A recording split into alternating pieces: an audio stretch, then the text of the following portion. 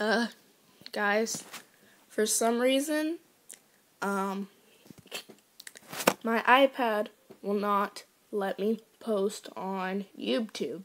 It will let me watch videos, it will let me like videos, but it will not let me post anything. When I do, it just crashes, and then my iPad goes black for like a few seconds, and then it goes back to the home page. This is very depressing. Um, I have to figure out how to get it to work again because I have three more videos I'm supposed to post and I'm working on a fourth one. I haven't posted in a long time because I just didn't feel like it. I mean, I animate with my fingers, it's painful, okay?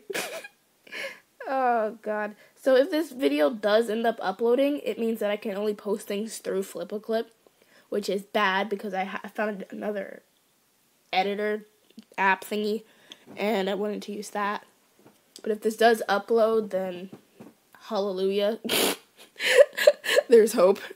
If I get my iPad fixed or call Apple Care or whatever, um, I'll continue posting. But for now, this is what you have. Suffer. I'm sorry.